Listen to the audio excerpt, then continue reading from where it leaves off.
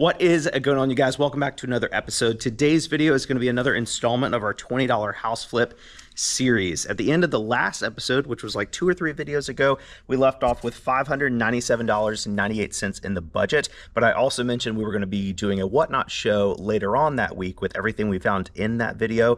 We did that, sold a total of 35 items for $789, giving us a revenue after fees of $678.20 one. The 35 items we sold in that show were kind of a mixture of things we got at the Goodwill bins mostly, but a couple other things we had left over from previous episodes. We sold a Dooney and Bourke purse for $31, a Ralph Lauren purse for 23 and, you know, Mario hat for $15, kind of all over the place. That scarf I found in the last video, the one with like the little horse guys all over it, that sold for $8. I feel like that was a pretty good pretty good deal there. The most expensive item I think we sold in the last Whatnot show was the white and blue Vera Bradley duffel bag that we found. It had a couple stains on the bottom, but it still sold for $71, so pretty good there. That Whatnot show temporarily brought us up to a new total of $1,276.19 in the house flip budget, but we also hired a plumber to kind of finish everything at the house. He installed the kitchen sink, installed the kitchen sink faucet, the dishwasher, as well as tied in the drain of the primary shower to the drain under the house. We're done with plumbing. Everything is plumbed at the house, and he did all that for us for only $400, which I feel like was a pretty good deal. And we also spent another $400 on the sink faucet, some P-traps, some more plumbing su supplies, and as well as some more flooring at the flip house. So after everything is said and done, we have a current budget of $476.19. And today we're going to take that money to the Goodwill bins to buy even more stuff to sell to keep the flip going. Moon Dance Adventures, but it is a big, big North Face bag.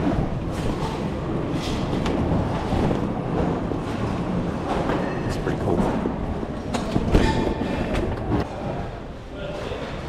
Oh, Alo Yoga. It's a really good brand. Alo, Alo is almost rivaling Lululemon these days. Size large. Like a cropped sweater. Yeah. You guys, look how cool this golf sweater is. It's a Jantzen, which we've sold before. Made in China, but I'm gonna grab that. Very cool. And this little leather pouch here. I think it's leather at least. Look at it later. Little, little floral bag here. It's got some like mother of pearl inlay up there, I guess, if it's real. There's a I don't see any labels or anything. Her for the booth. I got two Arctic coolers over here. This one is uh, a nicer brand, but as you can see, the seams have come unglued, so it's basically basically worthless. However, this one actually no, this one's super dirty on the inside, and the seam is right there too. Just two Arctic coolers that are that are too damaged to to save, unfortunately. Got an intimately free people sweater. Lululemon tank top here. Built-in padding. Grab that. And some North Face pants here. Youth size.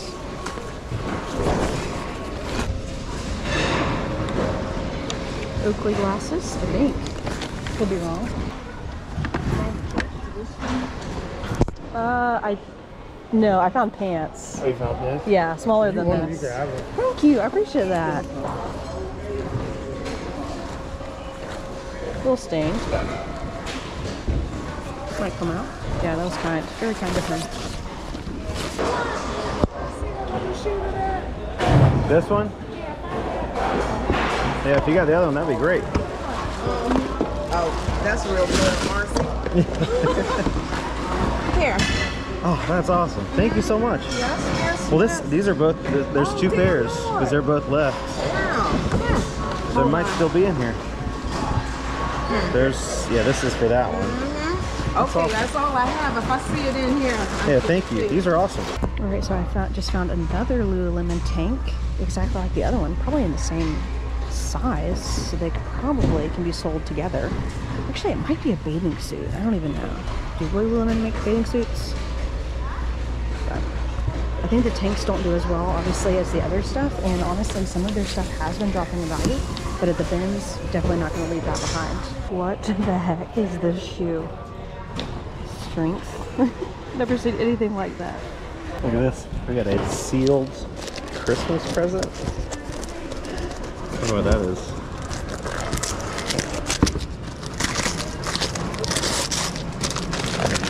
Porcelain flower dinner bell. Let's see if that's actually what it is, though. Maybe there's something better than that inside.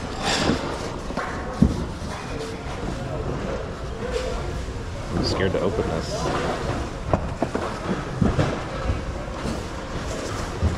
It's literally just trash. Okay. that was. There's another one. More trash.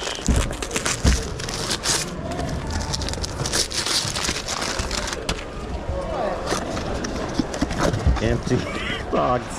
Guys, this is the worst Christmas ever. A couple cool things here. Some flower pots. They're kind of heavy, so I might not get this one, but I'll put it in the bag just just in case. Got this really cool ballerina picture frame, but it's like it looks like a doily or something in there. It's really interesting. Got that in the booth. A couple more flower pots. Nothing worth too much money, but since it's getting into spring, I feel like those will probably sell for at least a couple bucks in the booth pretty quickly. Looks like a cool oyster shell or something back there. You don't have a knife on you, do you? Dude, thanks, man.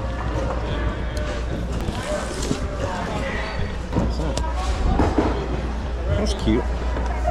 Little embroidered back. Some books. Got some whatever that is. Vera Barker, one of 89. This looks like a like a handmade bear. Sugar. Vera Barker, one of 89. That could be good. I think ADH Dave got a bunch of plush like this. They were handmade. One of them sold for like 150 bucks or something. Is this little makeup bag? With other makeup bags inside?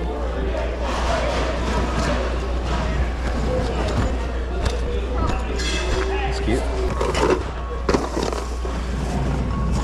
Teenage Mutant Ninja Turtle figures. This thing is super annoying. Look at all those. Yeah, this guy. He looks important. Just found this really pretty scarf. Feels nice. I'm trying to find the tag. Oh, here we go. Oh, it's Aerie. Aerie blanket scarf. One size. Yeah. I'm gonna grab that. Just found this. Feels like a pretty good material. And it is a Columbia extra large, but it's a dress. Like maybe like a tennis dress. Like, you know, super sporty. Going in the bag. Sometimes you just have to dig down to the bottom of the bin because in the beginning everybody's like just throwing stuff everywhere. So they might miss stuff. Just found this Nike sweatshirt. It is a size 2XL. I don't think there's anything wrong with it. Maybe like some superficial stains here and there. Yeah. Definitely putting that in my bag. And down here I see a FootJoy golf shoe. Is this? No, that's a different one. That's an Ecco BOA lace. That's good. Both of these are really good. Can we find the other one? That's a different foot FootJoy. There's one. Yeah, there's the Ecco. Yeah, these are super nice. Actually pretty clean too for white golf shoes. These are 47 extra wide, so I think that's like a men's 12 or 13. Let's just make sure the laces work. They do. These BOA laces click to tighten, and then you pull it out and you can loosen it again. Yep, those work as well. Very nice. These are probably, I don't know, like 70 or 80 dollars used. Really good. Let's see if we can find the other one of these then. Let's see. Is there something? Yeah, that's it. Pro SL. These are in good shape. The heel's not bent down. Still plenty of spikes left on the bottom. Yeah, these are really good. Not quite as good as the Eccos, but maybe like 40 to 50 dollars on these. I just found a cool True Religion shirt. However, somebody made it into a cardigan or something. Literally, they just like cut it in half in the front. Very strange. Here's another one.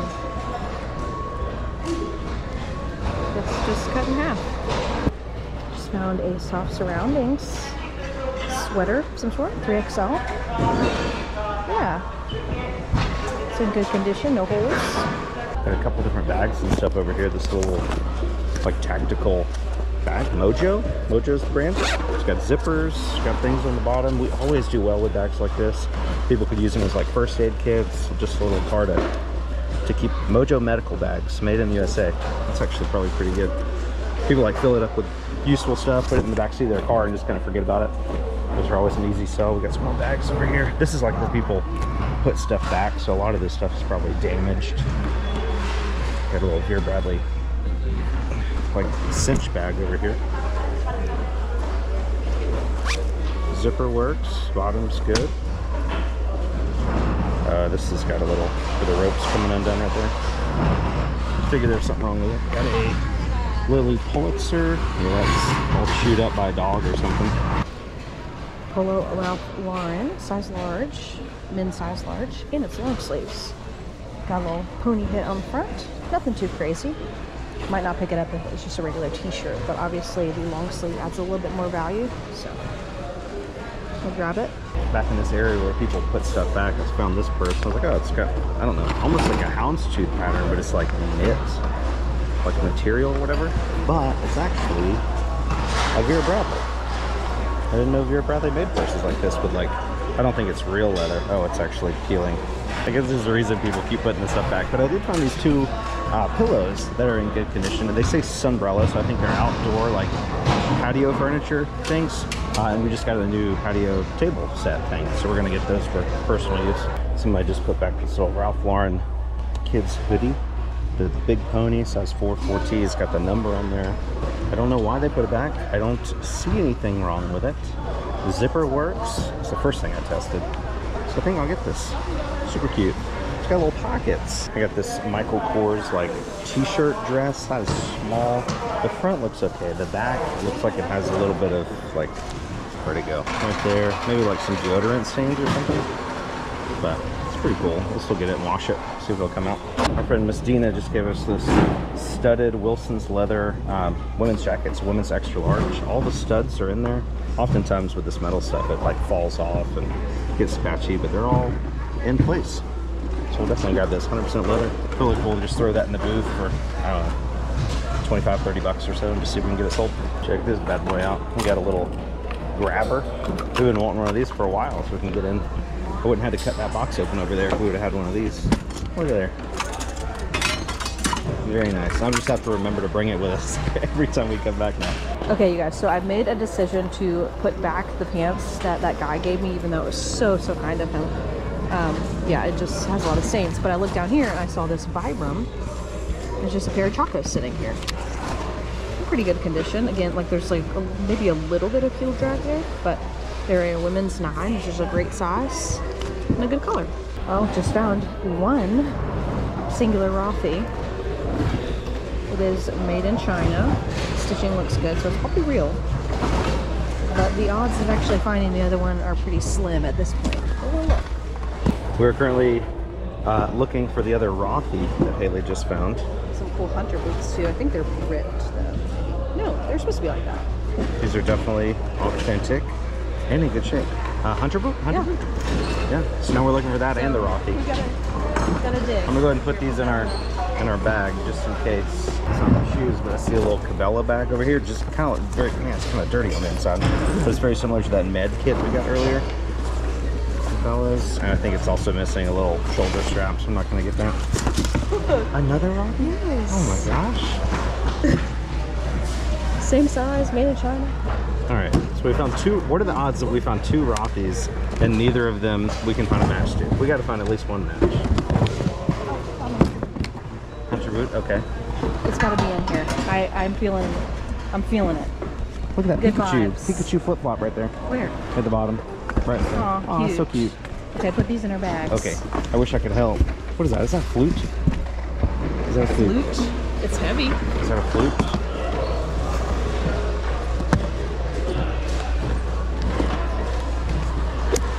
Oh yeah. Whoa. Some of these old ones can be made of sterling too. I don't see a brand. I'm definitely gonna get it. I just don't know if it's sterling or not. But either way, it's definitely worth the probably three dollars we pay for it. Wait, there it is. Yes. Beautiful. Beautiful. Two pairs of Rockies, just like that. Haley, I did find one singular plush today. Little birthday cake squishmallow. not a bin strip without at least one plush. Found a couple more plush and add those in. I also found this earlier. I, a bunch of people have found it, put it back. It's like a vintage CamelBak, Oh, that's cool. but the bladder itself is disgusting. Like Yeah. that looks like a urine sack or something. So I think I'm not gonna get that and just get this. And maybe you can get like, maybe it's the same size as the other, like the, the new ones. Yeah. Either way. Or somebody get could creative. like add a zipper and like make it into like, or yeah, actually, say, people get creative, and Yeah. so they could put like water bottles in there. you could put um, spaghetti, like You could put spaghetti. You could put chicken nuggets in no, there. like raw spaghetti. Like That's if you're like on the way home from the grocery store and you're like holding all your spaghetti in your hands, just put it in here. I can Yeah. hold like three boxes of raw spaghetti. You're right. I'm good. Oh, Scooby Doo, Scooby Doo. Double Scooby Doo. This is 1999 Scooby Doo with a blanket. it's a, it's a Um, yes. blanket. Get it. This is a- Disney, right? Yeah, It's one of the doors. Disney. I found a um, Oh, look, Scooby Doo. another Scooby Doo. There was an there. I just had one. Oh, he's got little spots on his back. You found this one. You found. Yeah, yeah. This is Dope- Dopey. Dopey and That's probably Doc. Doc. Yeah. Okay. Dopey and Doc. These Scooby Doos are good.